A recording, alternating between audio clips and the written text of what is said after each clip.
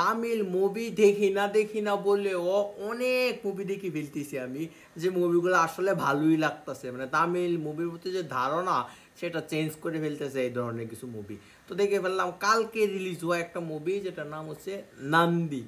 নান্দি শব্দ মানে নান্দি মানে কি বন্দি কিনা আমি ঠিক শিউর না, তবে না, যদি বন্দিও হয়, তাহলে নামটা কিন্তু মিলে। যেহেতু তামিল জানি না নান্দিটা আমার বন্দির মতোই লাগছে। তো মুভিতে একটা ডায়লগ ছিল ডায়লগটা ছিল এরকম ঈশ্বর আমাদের পানি দিয়েছেন, কোথাও আগুন লাগলে সেটা নিবানোর জন্য। তেমনিভাবে চোখে পানি দিয়েছে, বুকের ভেতর যে আগুন আছে সেটা নিবানোর জন্য। ও ভাই ডায়লগ শুনে আমি মানে তাড়াতাড়ি করে নোট করছি এইরকম ডায়লগ যেখানে পাইছে, এই মুভিটা তো অসাধারণ হইব।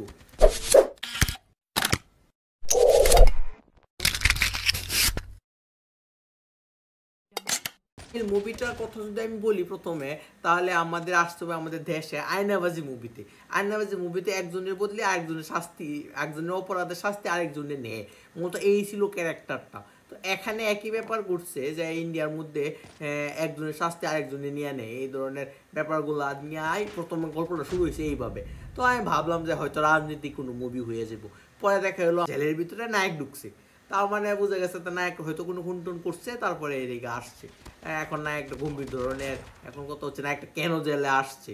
তো এটা নিয়ে বলার জন্য গল্প যখন ফ্ল্যাশব্যাকে আসে, তখন জানা যায় যে গল্পে আসল কাহিনী যে অত্যন্ত ভদ্র, নম্র একটা ছেলে বলতে যা বোঝায়, সে ছিল আমাদের নায়ক। যে যার চাকরি হয়েছে চাকরি প্রথম দিন ছেলে রাইনা মার হাতে দিছে বাবা মদ খাওয়া দিছিল তারপরে নিজে হাতে বাবারে মদ বাইরে মদ আইনে দিছে সাজায় গুছায় দিছে তারপর সিগারেটটা পর্যন্ত ধলায় জড়ায় বাবার মুখ এনে ধরছে। এইরকম সোনার টুকরো একটা ছেলে কি করে জেলে পৌঁছায় গেল? আহ, মূলত এইটা নিয়েই মুভি হচ্ছে নান্দি।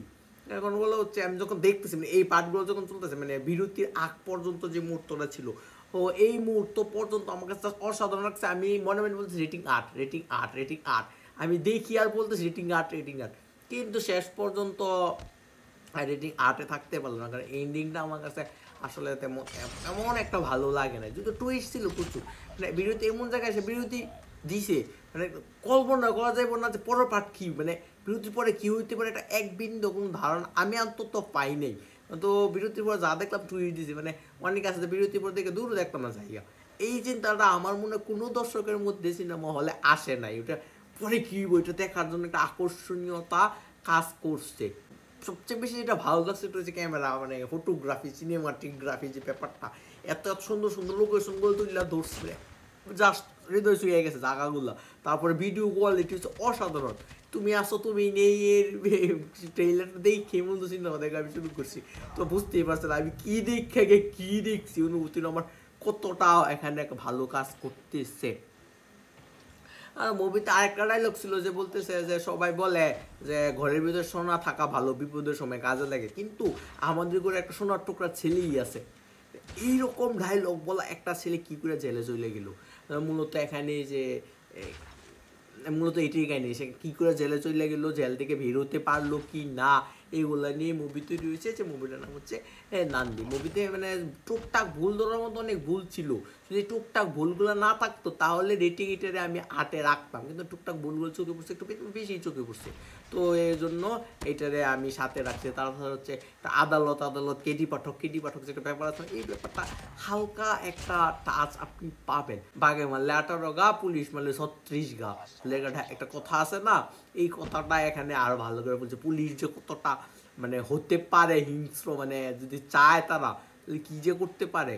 মূলত এটা এখানে ভালো করে ফুটায় তোলা হয়েছে তবে আমি বলব যে তামিল মুভি সম্বন্ধে যারা একটু ভুল ধারণা নেন, আমার মতো মুখ ফিরিয়ে রাখছেন ধরুন তামিল মুভি দেখব না, তো তারা, তাদের বলব আমি যে নান্দি মুভিটা দেখতে পারেন। এই মুভির রিভিউটা করতেছিলাম হচ্ছে আমার পিছনে ক্যামেরা দিয়ে। তো পিছনে ক্যামেরা দিয়ে ভিডিও করার ফলে, সামনে ক্যামেরা দিয়ে আমার চেহারা উঠতেছি কি না সেটা আমি নিশ্চিত ছিলাম না। তারপর যখন ভিডিও শেষ করে তাকাইছে তাকায় দেখি যে হ্যাঁ পিছনের ক্যামেরা থাকলেও দিছি, সামনের ক্যামেরা যার পরে আমার টেবিলে ছবি উঠছে। মানে পুরোটা সময় আমি যা কথা বলছি তা কিছুই দেখা যায়নি। এর জন্য এটাকে আমার ইয়ে গেমসের সাথে অ্যাড করতে হয়েছে তো এই জন্য আমি একটু দুঃখিত। তাছাড়া এখানে রিভিউ কিছু বাদ গেছে কথাবার্তা যেগুলো আমার মনে হচ্ছে যে বলা উচিত ছিল। হ্যাঁ তার মধ্যে হচ্ছে সাবটাইটেল মানে মুভিটা যেদিন রিলিজ হয়েছে এদিনই এটা সাবটাইটেলও বের করে ফেলছে, বাংলা সাবটাইটেল আট জনের একটা মানুষ মানে আট জনের একটা টিমে সাবটাইটেলটা বানাইছে, যেটা অবশ্যই আমার রিভিউতে বলা উচিত ছিল, যেটা আমার খেয়াল ছিল না। মানে ওরা অসাধারণ কাজ দেখেছে, বিশেষ করে গানের অনুবাদ। কারণ সাধারণত দেখা যায় গানের অনুবাদ যখন সাবটাইটেল করে, তখন সাধারণত গানের অনুবাদ করে না। তাছাড়া করলেও সুন্দর হয় না, ছন্দ টন্দ মিলে না মানে একটা অনুভ, অনুভূতিটা পাওয়া যায় না ঠিক গানের। কিন্তু এখানে গানের অনুভূতিগুলো পাওয়া গেছে। তাছাড়া গানগুলো অনেক সুন্দর ছিল তো, সব মিলে বলা যায় দারুণ কিছুই। মানে টিমটারে অবশ্যই দারুণ কিছু দেওয়া মানে সাপোর্ট করা উচিত। আমার মতে আমি কি করব? রেটিং দিয়ে আসা দেওয়া আসা ছাড়া কিছু করতে পারব না আমি। আপনি যদি চান যে ডাবিং হবে কি না এই আশা যদি থাকেন, তাহলে আমি বলব আশা থাকা উচিত।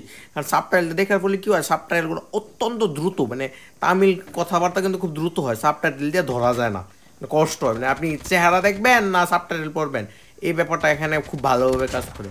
সাবটাইটেল দিয়ে কোরিয়ান মুভি দেখতে বা জাপানি মুভি দেখতে আরাম পাওয়া যায়। ওরা খুব স্লো কথা কয়, তো দুই তিনবার পরে লাগা যায় এক ডায়লগ দিতে দিতে তো তামিল মুভিতে সাবটাইটেল দিয়ে দেখাটা না না দেখাই ভালো আমার মতে। আর তাছাড়া আপনার একান্ত ব্যক্তিগত মতামত তো ভালো থাকবেন। পরবর্তী অন্য কোনো রিভিউ নিয়ে হাজির হব। ততদিন পর্যন্ত ভালো থাকবেন। আর যাওয়ার আগে লাইক কমেন্ট সাবস্ক্রাইব করতে ভুলবেন না।